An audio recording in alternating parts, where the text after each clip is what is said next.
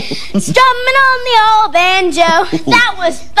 I like the fee fi fiddly I o part. Are you ready for the next letter? Yeah, Sure. I am. am. Let's do it.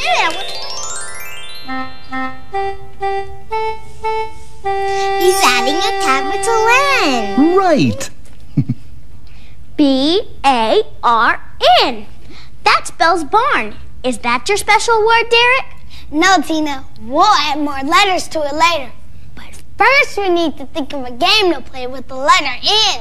Ooh, how about the end game? The end game. How do we play that? Oh, oh, it's played with rhymes. What does rhyme mean? A rhyme is two words that end in the same sound. Like, like cat and bat.